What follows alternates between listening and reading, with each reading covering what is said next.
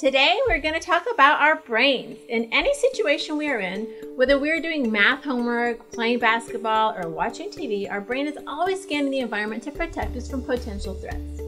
There is a specific part of the brain that has the job of watching out for danger and keeping us safe. This is called the amygdala, or as I like to call it, the guard dog. There are a number of ways that the guard dog can protect us when we feel threatened.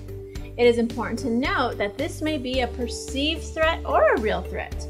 The guard dog gets the body ready by, for action by flooding the brain and body with chemicals to help us survive the potential threat.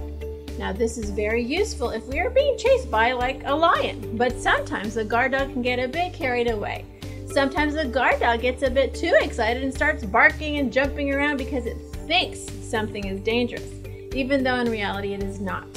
This is where the prefrontal cortex, or as I like to call it, the wise owl, can help.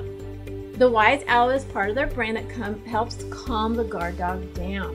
It helps us to think clearly, logically, assess the facts, and make wise decisions. But sometimes our guard dog is barking so loudly that it's hard for the wise owl to remember that it's that we need help. When this happens, we need to remember to ask the wise owl for help. Otherwise, it won't be able to hear over the guard dog's bark. What this means is that we sometimes might be in a situation like being asked a question in class where our brain feels uncomfortable or perceives danger. And therefore, we might freeze or get upset and angry. This is an example of when the guard dog is overreacting. In this case, we need to call on the wise owl for help. But how can we do this? Practice. The more you let your wise owl help you, the quicker and easier it will be to calm down and make wise choices. The more we practice a skill, the stronger our brain gets.